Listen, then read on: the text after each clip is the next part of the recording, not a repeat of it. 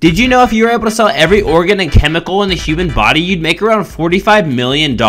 A swarm of 20,000 bees followed a car for two days because their queen was stuck inside. Simps. The sound of withdrawing cash from an ATM isn't actually real, it's a manufactured sound to let you know the money is coming. There are actually 84 people in the United States named LOL. Fuzzy caterpillars turn into moths while smooth ones turn into butterflies. Capybaras are fish actually according to the Vatican. Tumors can grow miniature organs, hair, and teeth. It only takes a total of 70 people to be in the same room for there to be a 99.99% .99 chance of someone sharing the same birthday.